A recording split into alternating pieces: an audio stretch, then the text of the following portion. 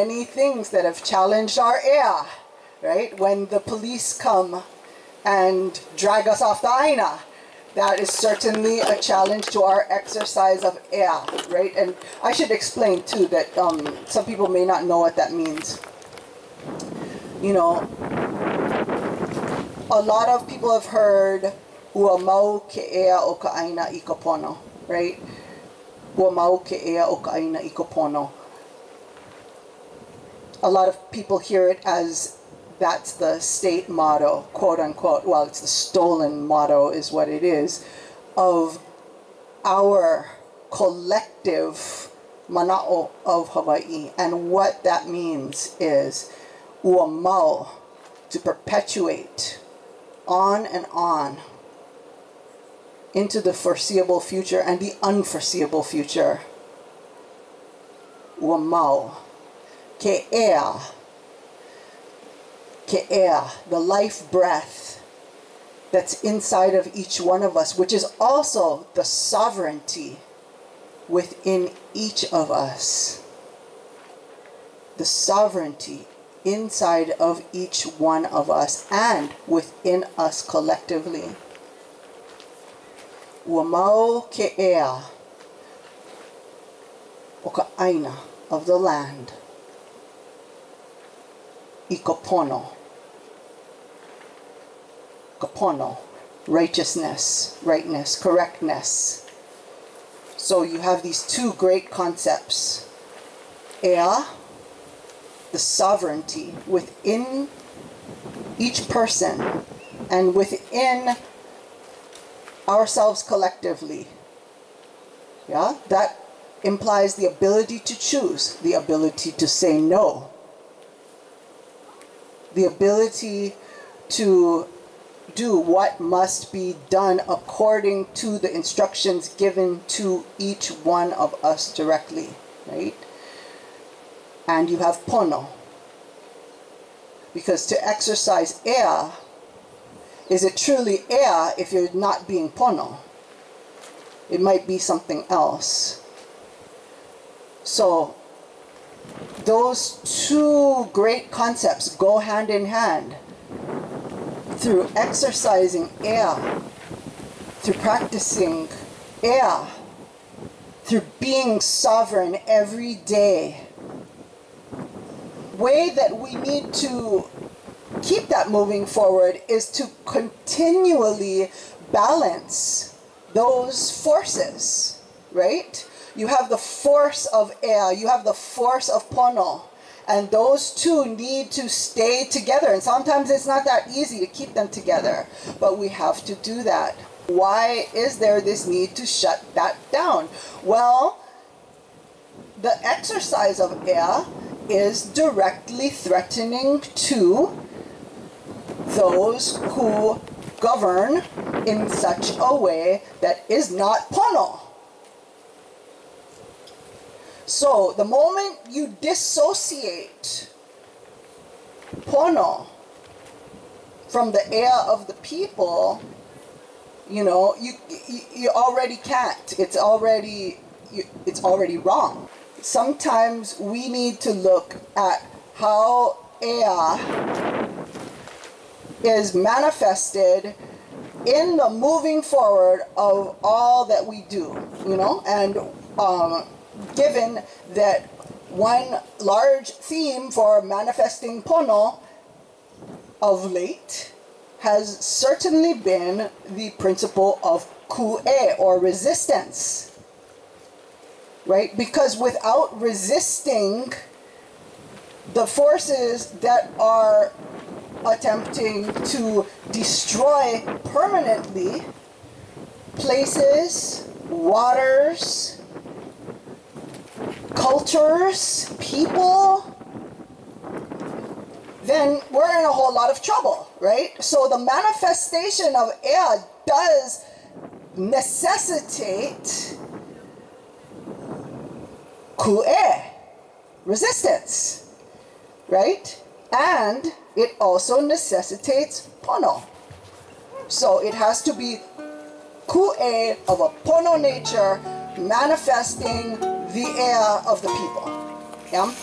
So, yeah, so, so, um, I guess this is my long way of basically saying that, um, you know, as we go forward and we really uh, do this, manifest our own personal ku'e, and our own personal ea through that ku'e pono. And we recognize and we support one another in doing that. That is how we're moving the healing of our aina forward. Ua mau ke ea o ka aina i ka pono.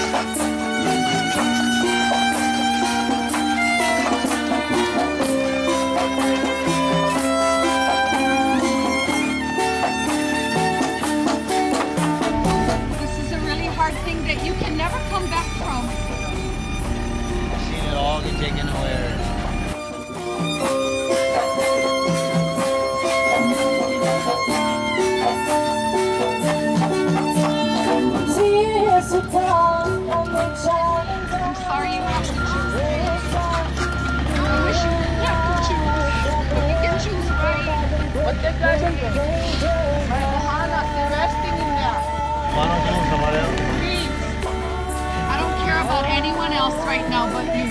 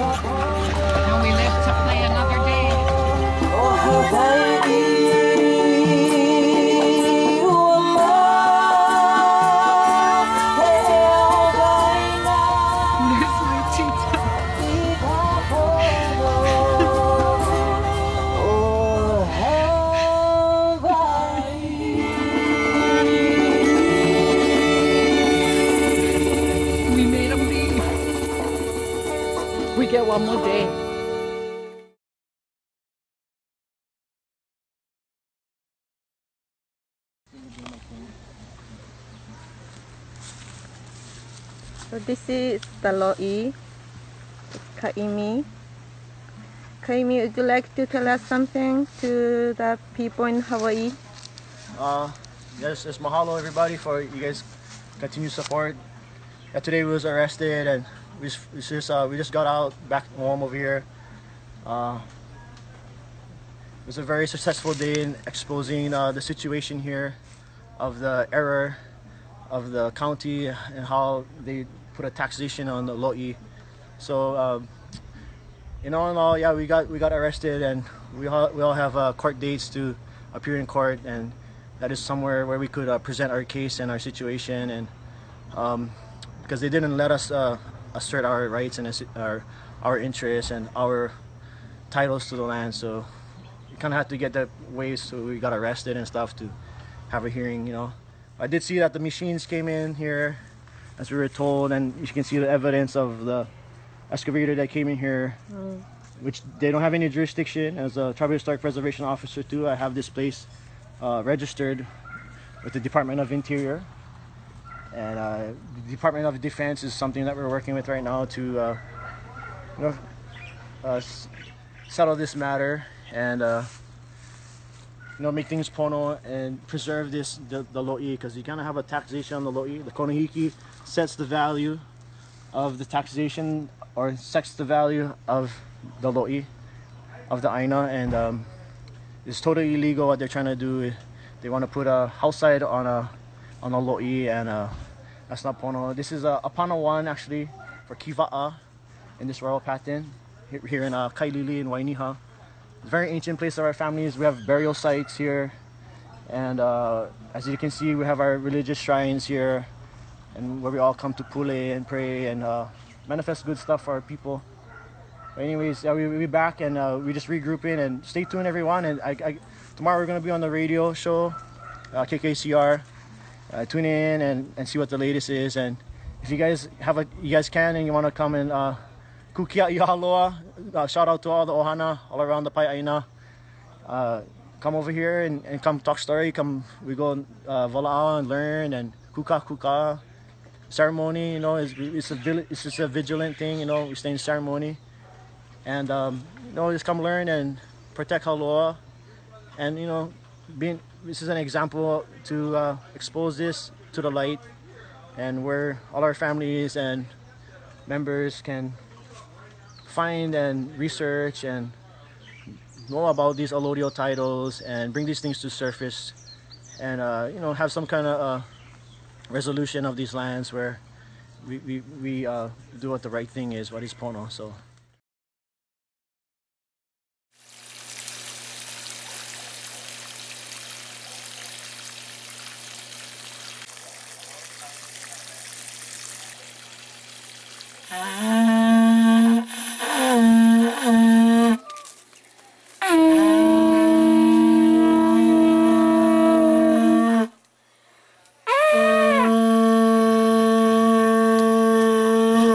Any of the boys, they like they like Hana. That's a blessing. They tell, what can we do in the turtle path? What can you do, boys? Well, you do it any kind. What do you want to do? You like you like pull weeds? Let's, Yeah. Let's No, pull let's- some weeds. Let's clean. Let's clean over here a little bit. You see all the weeds? You see all the weeds over here, Laiva? Yeah. All this kind. You got a hammer. You got a hammer. Buki the taro. Yeah. We got all the kind. We gotta wait till brother go. Wait, you talking the one we planted? Yeah. We're gonna have to wait nine months. Nine months is when it will be fully matured. And when you guys come come back, we go hooky on. But all along the way, we're gonna take care. That's why all this kind of stuff, this kind you can cut, cut, and then you bring them over here and you cover them. Cover the ground. Okay. Because they're going to keep the ground moist. See all the banana leaf over there? See all the banana leaf over there? The dead banana leaf? Come on out.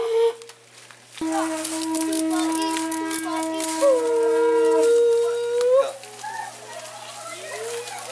Carter, wait, I want the big one.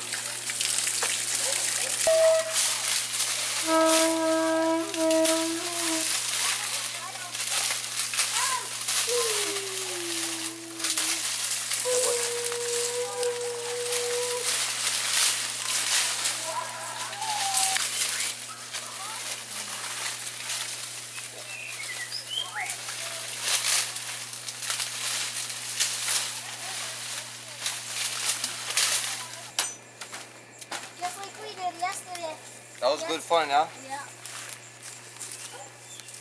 That's right, real stuff. You get something for sure. Not just plain. Bombay the taro gonna grow and you're gonna have something for feed the family. Feed the ohana boy. Bombay when you like make laulau or luau, you can come pick the luau leaf. What you help do, you get some of it. Oh, roger that. You know already. When you kokua, you gonna go, you gonna be eating. Ah, boy, that's so on. Hey, good job, good job, good job. That's all you did. You say covering them up, yeah. So one by when the sun gonna come, he gonna all the all this banana leaf gonna keep the ground nice and moist. And when you break down to it, feeds feeds the the soil, feeds the awa. So the next you know, next you know, the awa can come all big and strong, and then when we come over here for for hammer for hamo the root, we're gonna have a big root ball. And Uncle, good because when it rains, all the is gonna come down there. Yeah, it collects all, and even at nighttime, all the dew, you know how I get dew at night? All the dew gonna collect all on the leaf let out, and then morning time, it's all gonna just go inside the lepo and Yeah. feed the plant. Oh, that's mine. nice one, yeah? Oh, careful, ah. Shut the machete shop, boy. I work with machetes all day. Do you? Yeah, right. I chop down trees in my dad's backyard, hey, we love that. We love that, Kohana. but sharper. Yeah, you gotta, you gotta make sharp, yeah, boy. And you can use stones to make it sharp. And boy, you know how they tell? If no more water, go find the water and bring them. Put them inside the loi.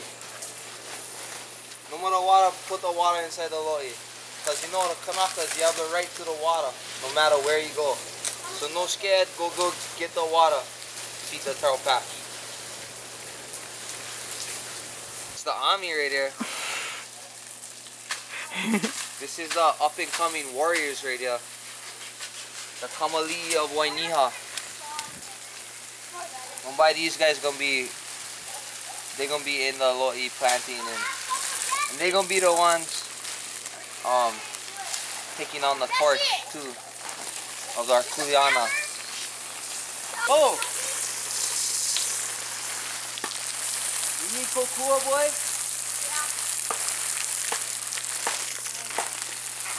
Wow.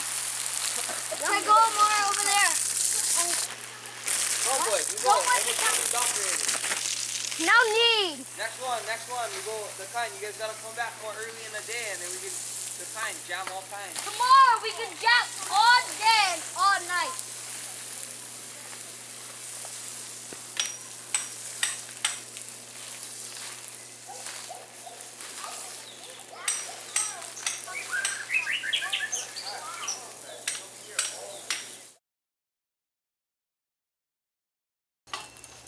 I see you later, Levia. Bye.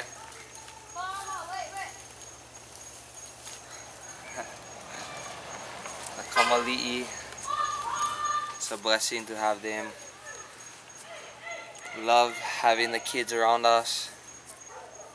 They're definitely why we stay doing this to to make sure that they always gonna have one place.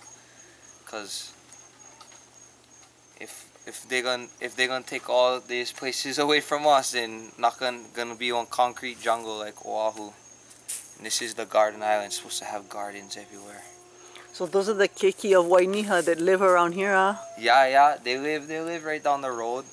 It's all like um Pule, Ohana and um Chandler boys, some of the Chandlers which is all Mawiki, Ohana and but all family. It's all yeah, it's all the Kama- the Keiki from around.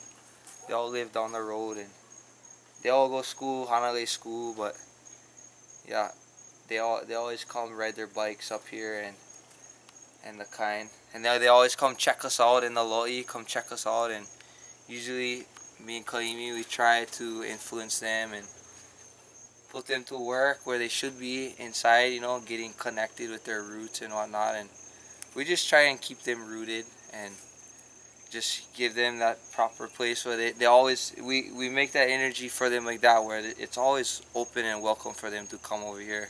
They're always welcome for come over here anytime.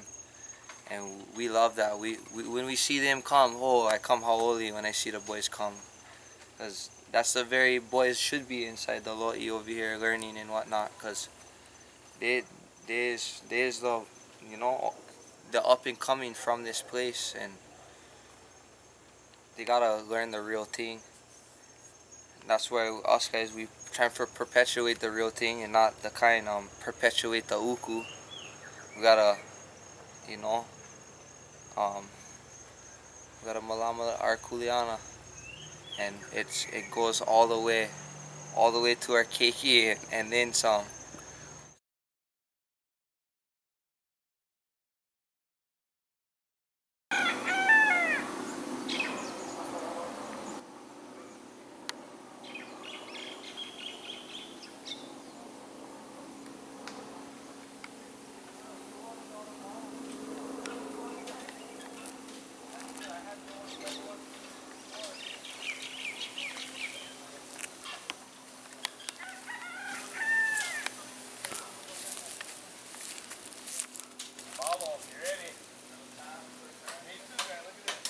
Your family is from Wainiha, from a long time. Yes. Yeah. So, um, are there practices that are unique to you, Wainiha that you're able to perpetuate here? Practices or plants, or um, you know, th- are there things that you're doing here that are um, important to perpetuating the culture specifically of Wainiha? Uh, Wainiha is well known for uh, its very uh, the, the special families here that you know they cook up a lot of food for all the families. So that's one thing that we do. We cook a lot and share a lot of food. Most of our fishing, traditional fishing, is not only in the ocean but also in the river and and uh, passing those things on and keeping things alive. Uh, net making, hunting uh, for pua'a. Uh, not only that, but you know, using uh, la'au, uh, la'au lapa'au that we have, you know, medicines and, and uh, plants that grow around and abundantly, and also building canoe parts for our voyaging canoes and, and stuff like that. But Wainiha is known for uh, its for its ohanas and the way they, their lifestyles that they have, and not only kalo, but everything else. Watching the place change over and over, especially them uh, removing the stones and not respecting access to the burial sites. You know, somebody has to say, you know, this is enough. Someone, you know, we had, something has to be done, you know, to to stop them or to bring in a different energy. So most of all was just the interest to the lo'i and malama the lo'i, and we, we take care and put the kalo back where it belongs, and you know, grow food for the ohana. It's pretty simple, and that's where we stand, standing in the lo'i. And from that lo'i, you're able to feed some the, some of the keiki of the community also, and the people. Yeah, like uh, you know, we gather everything here and uh, what we what we have, you know, kalo, lo'i, uh, you know, we have the mai'a, many different fruits, you know, uh, ava, a lot of vegetables too that we have growing here. So you know, just just practicing that food security for our own selves and you know, not to be depending on outside uh, GMO, uh, how should you say, uh, contaminated foods that we don't know where it came from. But you know, these are practices that our families uh, lost not only because of uh, you know separation from their land, but also just the separation from their livelihood. So it's, this is the way to connect. You know, it's, a, it's just a way of connecting and being pono who we are. It's about preserving them and passing it on to our ohana and everyone else to learn, and so we can implement that in everyone's lives to be healthy. And you're passing it on to future generations. We share as best as we can, and aloha everybody. Now is the palima. Now is the time for put our hand on Aina. We know the four corners of our world. Now is the part time of the palima. So to support the generations, they're gonna carry on from here. That's what that's what this represents to me. This was the promise of the prophecy of the kupunas. Pomanao Nui, till the time come when we're gonna see and so we can move forward. It's all important. And without this kind of a group in an area, as we've seen many places, next thing you know, There is no core forest. There is no lehuas. Kaimi, can you tell me what does aloha aina mean to you in this context? Uh, aloha aina for me uh, pretty much means to be on the aina and uh, to malama e, to to make pono and let our ohane and our family uh, kupuna guardians guide us. And aloha aina to me also is showing what you know by doing and by creating and most of all sharing. And uh, aloha aina- to me is uh, you know standing up also for what you know is pono and going against anything that's wrong or hewa. And aloha aina to me is also enjoying and with the family and passing it on that way.